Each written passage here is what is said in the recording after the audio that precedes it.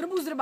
A dnes to mám pro vás pár pikantností. Například, že hlavní vedoucí holí nohy škrabkou na brambory a že se včera hrál tajný zápas na strubu číslo 14 a dopadlo to tak, že ve strubu byla pořádná díra přímo nad dveřma a nalítalo tam plno komárů a všichni byli úplně poštípaný. A nyní předám slovo moje mo- spolumoderátorce, aby vám řekla něco o oddílech.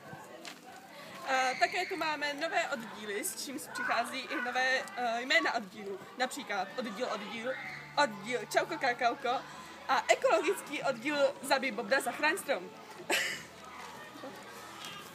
Ano, děkuji vám za trefné poznámky. Komáři letos opět udeřili.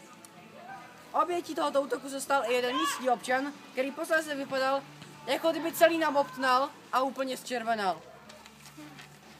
Taky byla rozpoutána šišková bytka, ze které nikdo nevymázl, aniž by nebyl uzemněn pořádnou šiškou do šišky.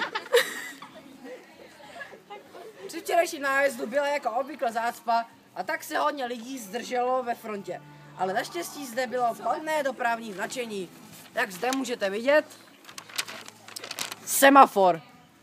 Vhodný dešník, aby neskratoval a brejle, aby nedostal zánět spojivek. A taky ten idiotský úsměv. Cenzura, jo? A teď je čas na počasí. Dnes je pěkně. Úžasný postřeh. A na závěr, ty do našeho diváka. Chcete tancovat bez hudby? Hoříte se jen komáru. Naschledanou.